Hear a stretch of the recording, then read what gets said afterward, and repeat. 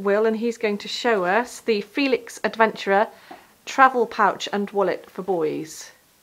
So Will, what do you what have you what do you want to tell us about it?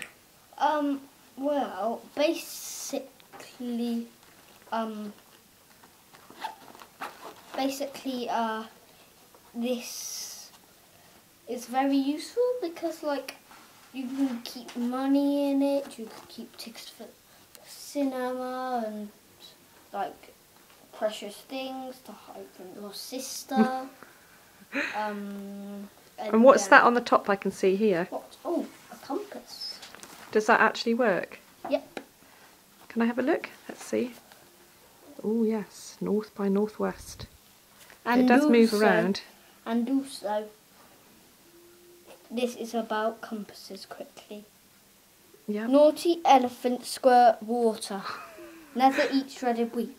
Well done. Um, and um, it has two pouches. So I think you Um, showed us that one, didn't you? that so that one. Well done.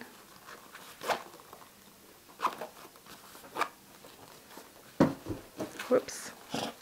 Uh, and this really big new one. As you can see, it's massive. That's huge, isn't it? And how would you carry it then? How would you carry this pouch? Well, there were like quite there are quite a few different ways. You could um put it like Well, let's first of all show this. There's a there's a loop here, isn't there? So you could Yeah. strap it onto a belt if you yeah, wanted to. Like when you're getting dressed, you could slip it. You could slip it onto your belt. Yeah. And what are you doing now?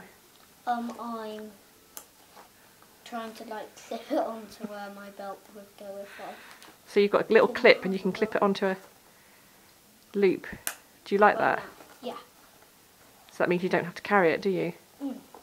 So you could just walk around on a walk. And basically, um, thank you for watching. And this is very good, by the way. well done. The end.